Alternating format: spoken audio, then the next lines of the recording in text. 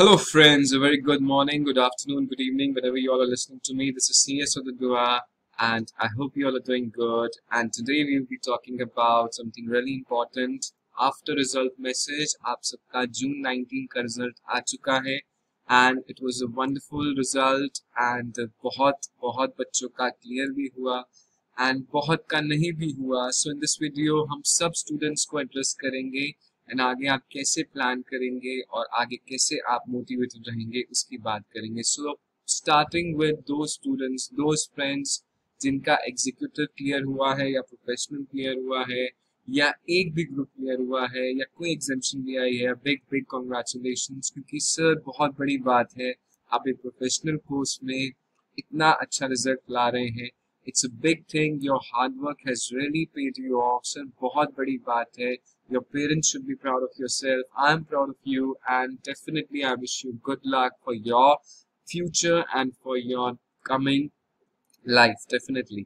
सो so, अगर हम passing percentage की बात करें सो पासिंग परसेंटेज बहुत बच्चे पूछ रहे थे passing percentage as usual if you can see executive का कम रहा है executive new syllabus old syllabus का 11 एंड 10 परसेंट के आसपास इन module one 16% in module 2 if you are in old syllabus and 8.6% in if you are in new syllabus तो हमारा executive का बच्चा डेफिनेटली बहुत कम रिज़ल्ट आ रहा है. Institute I is not giving good result in executive लेकिन प्रोफेशनल का हमारा इंस्टीट्यूट पता नहीं कैसे अच्छा रिज़ल्ट दे रहा है. डेफिनेटली हमारे इंडस्ट्री में डिमांड है. कंपनी सेक्रेटरीज हमारे डेफिनेटली मेंबर्स कम है और इंस्टीट्यूट चाहता है कि हमारे मेंबर्स बने। प्रोफेशनल ओल्ड का 27.13, 30.73, 33 percent 27.82, 24 and 27 percent 27, 20, 30 percent result है if you are in professional and अगर आप क्लियर कर गए हैं if you fall in this category then big thing big round of applause लेकिन सर अगर नहीं आप क्लियर कर पाए हैं सर, कोई चिंता का विषय नहीं है। इस इन आजकल के दिनों में बहुत टेंशन रहती है, सर, हमारा नहीं हो पाया है। सर, कोई दुनिया नहीं रुकती है। Nobody is going to nobody is going to stop your life sir main क्या है कि आप पॉजिटिव रहें, आपके पेरेंट्स आपको सपोर्ट करें। अब आप अगर एग्जीक्यूटिव में हैं, जैसे मैं एग्जीक्यूटिव पढ़ाता हूँ तो सर एग्जीक्यूटिव का लेवल इतना ज़्यादा कर दिया है if you are a new course और ओल्ड कोर्स आपका 11 परसेंट रिज़ल्ट है। 10-11 परसेंट रिज़ल्ट बहुत कम होता है। So, इसमें टेंशन लेने की बात नहीं है। आई ऑलवेज से टू दो स्टूडेंट्स टू दोज फ्रेंड्स जिनका नहीं क्लियर हुआ है। इट्स ऑलवेज नेक्स्ट टाइम आप फेल नहीं हुए हैं। दुनिया आपको फेल डेफिनेटली कंसिडर करेगी। और दुनिया चाहती है कि आप फेलियर ही रह जाएँ। लेकिन ये आपके ऊपर है कि इसको आप एक लर्निंग लेके चले।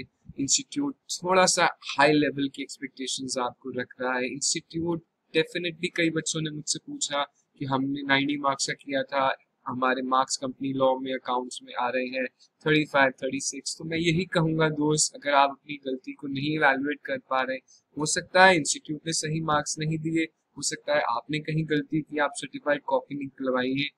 मुझे मेल कीजिए, मैं आपको फ्री ऑफ़ कॉस्ट सजेशन दूँगा फ्री ऑफ़ कॉस्ट आपको इवेल्युएशन करके दूँगा।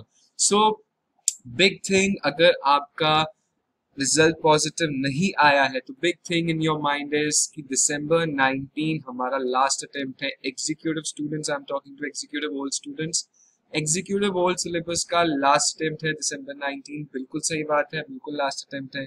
सो अगर आपका अटेम्प्ट अभी नहीं निकला है, जून में आपके दोनों ग्रुप्स पेंडिंग है, सबसे बड़ा सवाल, सबसे बड़ा बिग क्वेश्चन है कि अब दिसंबर में दोनों ग्रुप्स कैसे निकालें?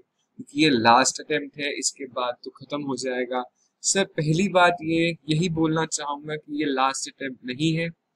हम पूरी कोशिश करेंगे अभी तक ये लास्ट अटेम्प्ट है इंस्टीट्यूट की तरफ़ से, लेकिन after December exams December exams are over हम पूरी कोशिश करेंगे कि इंस्टीट्यूट से रिक्वेस्ट करें। If there will be a backlog of more than fifty thousand seventy thousand students जो अभी हैं एग्जीक्यूटिव होल सिलेबस में तो हम इंस्टीट्यूट से रिक्वेस्ट करेंगे कि वो एक या दो अटेम्प्ट बढ़ाए पूरे चांसेस है कि इंस्टीट्यूट हमारी रिक्वेस्ट को कंसिडर करेगा। लेकिन अगर नहीं हमारा ऐसा कंसिडरेशन होता तो आपकी दुनिया नहीं खत्म हो जाती दिसंबर के बाद। आप अपने हिसाब से एक ग्रुप की तैयारी कीजिए या बोथ ग्रुप्स की कीजिए। Make sure you give your hundred percent अगर आप दिसंबर में एक ग्रुप भी क्लियर कर लेते हैं और एक रह जाता है तो आपको उस, आपकी मेहनत खराब नहीं जाएगी। You will get examination in new syllabus हम कोशिश करेंगे कि ओल्ड सिलेबस के अटेम्प्ट बढ़े जाएँ, अभी बढ़ाए जाएँ। अभी हम कमिट नहीं कर सकते आईसीएसआई डेफिनेटली को हम डेफिनेटली हम रिक्वेस्ट करेंगे दिसंबर के बाद करेंगे, क्योंकि हमारे स्टूडेंट्स बहुत परेशान है। और यहाँ पे बिग क्वेश्चन अगर आपका अटेम्प्ट नहीं यहाँ पे क्लियर हुआ है एग्जीक्यूटिव या प्रोफेशनल दोनों के लिए यही है कि अब एक ग्रुप दें या दोनों ग्रुप दें। बिगेस्ट क्वेश्चन मैं स्टूडेंट से कल से ये सुन रहा हूँ। I am receiving lot of messages on Instagram on WhatsApp so sir, मैं यही वीडियो इसलिए बना रहा हूँ कि सबको एक कॉमन मैसेज जाए एक पॉजिटिव पॉजिटिविटी फैले। और यहाँ पे इस बात को मैं कहना चाहूँगा कि एक ग्रुप दो या बोथ ग्रुप्स दो या सारे ग्रुप्स दो प्रोफेशनल के अपने आप डिसाइड कीजिए। मैं एक स्टडी शेड्यूल आपका बनवा दूँगा। We will come up up with study schedule जिसमें आपको मैं यही बताऊँगा कि हमारा अक्टूबर तक अक्टूबर मिड तक अगर आपका एक बार सिलेबस खत्म हो जाता है with you are giving one group और बोथ ग्रुप्स आपका एक बार अक्टूबर एंड तक खत्म हो जाता है, तब आप उस हिसाब से प्लान कीजिए। अब बिगेस्ट क्वेश्चन ये है कि बच्चा एक ग्रुप देता है, उसके बाद सेकेंड ग्रुप की कोचिंग लगा लेता है, और एक ग्रुप नहीं क्लियर होता तो वो बहुत पैनिक में हो जाता है। तो हमारे साथ भी यही हुआ हुआ है। हम भी इसके definitely we have gone through all these things लेकिन अब आपको डिसाइड करना है कि आपकी कितनी कैपेसिटी है, कितनी कैपेबिलिटीज है कि आप एक ग्रुप हैंडल कर सकते हैं। वो वाला जो अभी आपने जून में दिया था, या जिसकी आप कोचिंग ले रहे हैं, या दोनों आप कर सकते हैं, ये आप अपनी क्षमता देखिए, अपनी कैपेसिटी देखिए। डेफिनेटली आपको खुद सॉर्ट आउट करना है। दोनों ही ऑप्शंस अच्छे हैं, आप एक भी दे सकते हैं बोथ भी दे सकते हैं राइट सो so, मैं यही कहूँगा जिन स्टूडेंट्स का नहीं क्लियर हुआ कि होप रखिए because when the world says give up आपको पूरी दुनिया कहने वाली है including your parents if you if they do not understand you कि सर गिव अप कर दो मेरे तीन अटेम्प्ट लग गए पाँच अटेम्प्ट लग गए दस अटेम्प्ट लग गए। लेकिन कहीं ना कहीं होप विस्पर करती है कि try it one more time एक बार हम फिर कोशिश करने का प्रयास करेंगे और कोशिश करने का प्रयास उस हिसाब से करेंगे हम अपनी वीकनेसेस को ठीक कर सके, जहाँ हम गलतियाँ करके आए हैं, उसको ठीक कर सके। जिस सब्जेक्ट में हमारे कम मार्क्स आए हैं, उस पर ज़्यादा टाइम लगा सके। हम अच्छे से अच्छे सेल्फ स्टडी कर सके। एग्ज़ाम से पहले अगर हमारा रिवाइज नहीं होता है तो हम शॉर्ट नोट्स तैयार कर सके। जो भी कमी आपको लगी कि हाँ मैंने कहीं ना कहीं कमी छोड़ दी, उसको पूरा कर सके और हमारी गिव अप करने की जो बात दिमाग में आ रही है, वो डेफिनेटली नहीं आनी चाहिए बिकॉज़ हमारी जो उम्मीद है होप है, वो विस्पर कर रही है डेफिनेटली एक बार कह रही है कि हमको एक बार कोशिश और करनी चाहिए। Try it one more time क्योंकि कहीं ना कहीं अगर आप गिव अप कर देंगे गिव अप करने में एक मिनट लगेगा, एक सेकेंड लगेगा लेकिन आप ज़िंदगी भर ये आपके बैकलॉग माइंड में चलता रहेगा कि हम एक बार और कोशिश कर लेते। क्या पता हम पास हो जाते, क्या पता हम क्लियर हो जाते। तो हमारी जो उम्मीद है, वो कायम रहनी चाहिए। Try it one more time I am saying to all the students इनका नहीं हो पाया है कि we should try one more time हमारी तरफ़ से जो भी सपोर्ट आपको चाहिए, वो मिलेगा।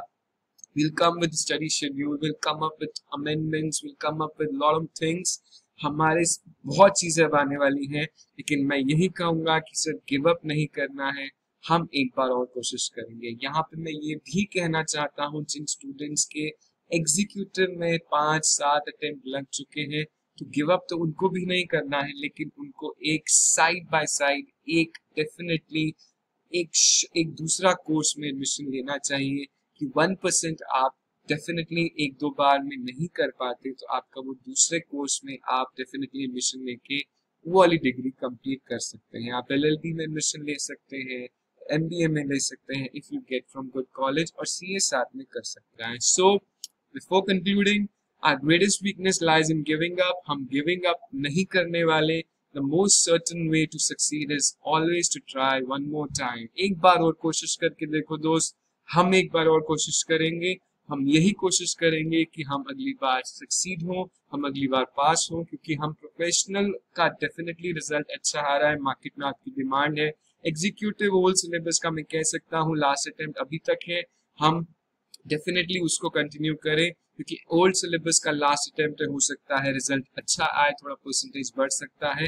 एंड डेफिनेटली अभी स्विच मत करिए ओल्ड से न्यू में कि ये सोच के लास्ट अटेम्प्ट आने हैं दिसंबर में लास्ट है दिसंबर के बाद जो सिचुएशन होगी, उसको देख के हम स्विच करा, करेंगे क्योंकि हम ओल्ड से न्यू में नहीं आ सकते so thank you very much for watching if you like this video आपको थोड़ा सा अच्छा लगा तो इसको लाइक कीजिए सब्सक्राइब कीजिए because lot of more things coming for you on my channel for December exams and a lot of more things. Thank you very much. God bless you. Stay connected.